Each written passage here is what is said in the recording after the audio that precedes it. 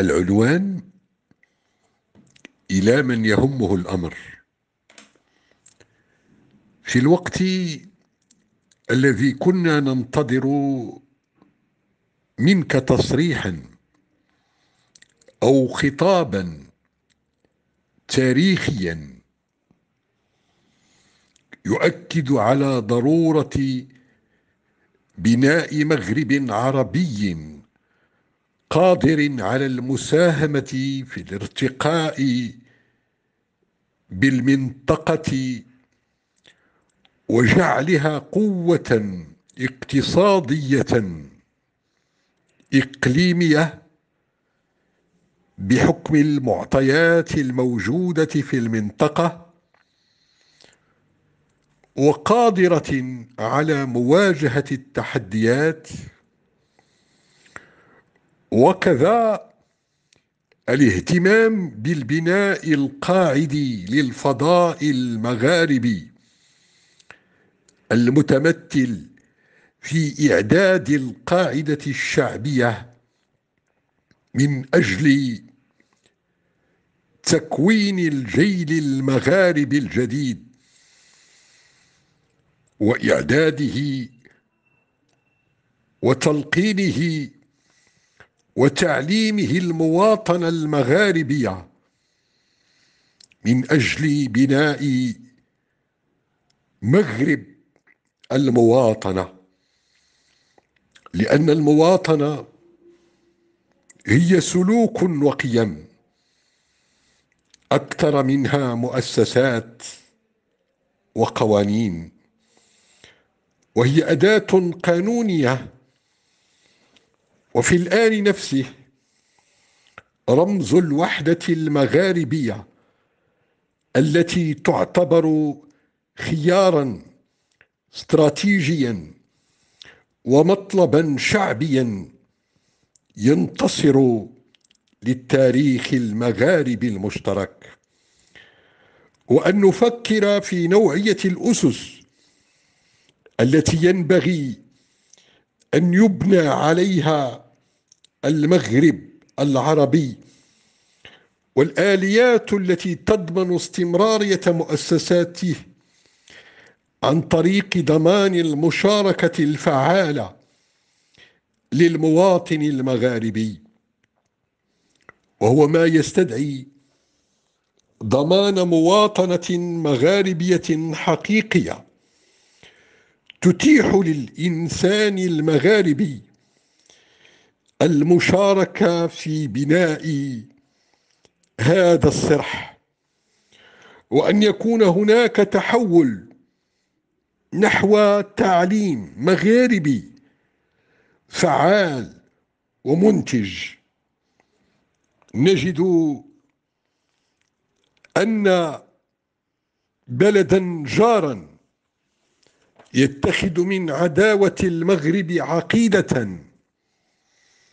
يلزم الأجيال الصاعدة في المقررات المدرسية على تعلم كره المغرب وبطر خريطته وشحنهم بالكثير من المغالطات والخيالات والأوهام.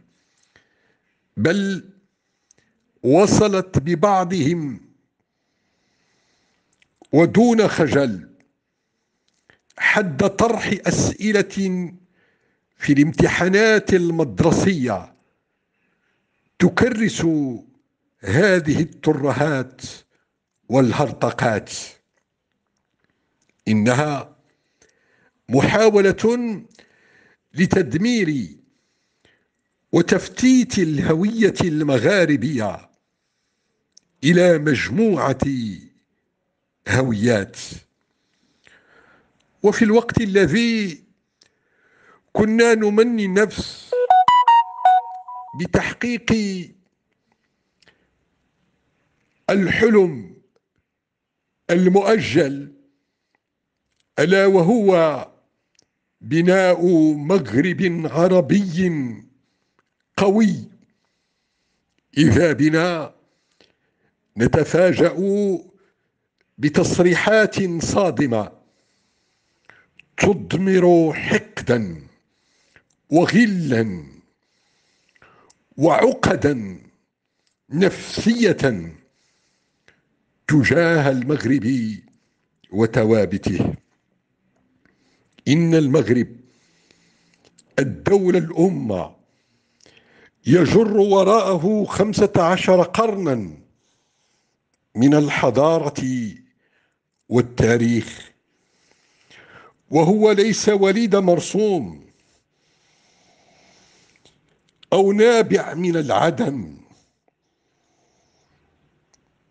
بل التاريخ يسجل أن المملكة المغربية كانت وستظل دوما وأبدا منار إشعاع وسمو وحضارة وحوار وتسامح وستظل متشبتة بالمنطق والحكمة بقدر ما ستتصدى بكل قوة وحزم للتجاوزات التي تحاول المس باستقرار وسلامة أراضيها. والملكية متجدرة في التاريخ المغربي وهي رمز وحدته وقوته وصموده عبر التاريخ. إنه العهد الصادق بين العرش والشعب والملكية في المغرب ذات باع طويل في الحضارة وفن الحكم وهذا يظهر جليا في خطابها السياسي والدبلوماسي.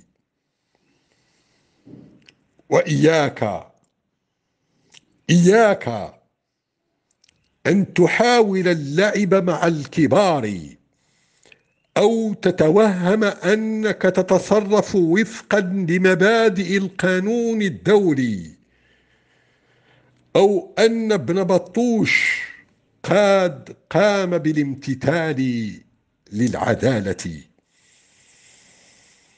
لقد أدخل ابن بطوش بهوية وجواز سفر مزورين لإسبانيا خوفا من المتابعة القضائية لأن يديه ملطخه بدماء الأبرياء.